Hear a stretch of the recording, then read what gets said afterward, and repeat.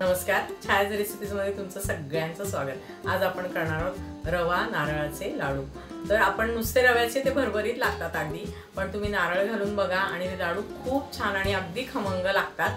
चला मी त्याचं साहित्य सांगते तुम्हाला. रवा नारळासाठी घेतले साहित्य दोन कप बारीक रवा आहे दीड कप साखर आहे आणि दीड कप ओलं खोबरं आहे. जो जवळजवळ एक नारळ आहे छोटासा. आणि इथे पाव कपच तूप लागणार आहे. पाव कप काजू तुकडे घेतलेत. आणि मनुके एक दोन चमचे आहेत. वेलची पूड एक चमचा आहे.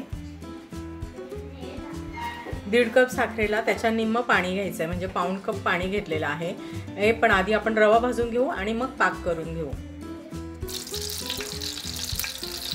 सगळं पाव कप तूप मी टाकून दिलेलं आहे. कारण रवा आपला फक्त दोन कप आहे त्यामुळे तेवढा एकदम टाकून मी भाजून घेणार आहे.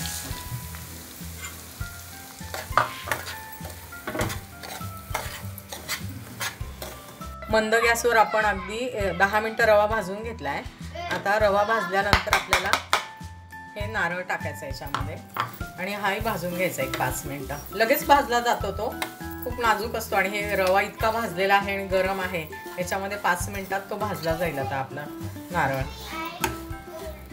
नारळ घालून आपण पाच मिनटं याला चांगलं भाजून घेतले. खमंग वास यायला लागला नारळाचा दरवळ सुटला आणि चांगलं कोरडं वाटायला लागलं की आपण गॅस बंद करून टाकायचा. कढई गरम राहते त्यातच जर ठेवलं तुम्ही तर ते लागू शकतं खाली म्हणून रवा आपण दुसऱ्या भांड्यामध्ये काढून घ्यायचा. तर रवा थोडा थंड होतोय तोपर्यंत आपण पाक करून घेऊया. हा शेवटचा थेंब जेव्हा असा तारेसारखा पडतो ना तेव्हा समजायचं की आपला एक तारी पाक झाला आहे हे बघा. आता मी गॅस बंद करून टाकते. आणि याच्यामध्ये वेलची पूड घालूया. गॅस बंद केलाय मी. याला खूप पक्का पाक नाही करायचा नाही तर कडक होतात. एक तारी पाक करायचा आणि याच्यामध्ये पाक ओतून द्यायचा आणि चांगला फुलू द्यायचा याला. आणि मग याचे लाडू बांधायचे.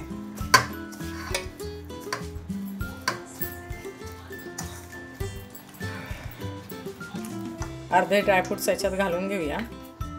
अर्धे मनुके घालून घेऊया.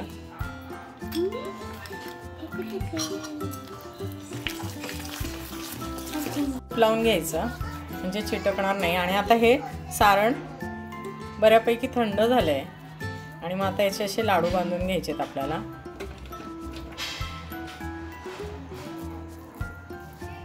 तुम्हाला किती मोठे हवेत लहान हवेत त्यानुसार असे बांधून घ्यायचे. हे रवा नारळाचे लाडू तयार आहेत. खूप छान आहे इझी रेसिपी आहे आणि काही घाबरायचं नाही. पाक घालून ठेवायचा थंड होईपर्यंत तो मोरतो चांगला फुलतो रवा चांगला आणि बांधायचे लाडू. चला पाक फक्त खूप घट्ट नाही करायचा आहे एक तारी पाक करायचा आहे. खाऊन घ्या. त्रिशा कसा झाला आहे खाऊन दाखवा. वा वाव. वा बघा कडक पण नाही झाले जास्त पाक करायचा नाही कडक. सॉफ्ट आहे. हो हो. नारळाची टेस्ट आहे ज्यांना करंजी आवडते त्यांना हे आवडतील. आणि नुसते रव्याचे नको वाटतात खायला. त्यात नारळ असला की खूप छान लागतात नक्की ट्राय करा. खूप छान सोपी रेसिपी आहे अगदी.